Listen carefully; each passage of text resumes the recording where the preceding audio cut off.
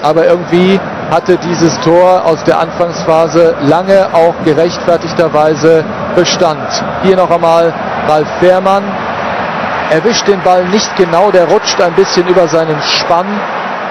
Und Cissé braucht nicht viele solcher Möglichkeiten. Hier noch einmal dieses 1 zu 1. Rollt der Ball, rollt er nicht. Ich glaube, Wingenbach hat gar nicht mehr exakt darauf geachtet, ob der Ball ruhte oder eben nicht. Raoul hervorragend.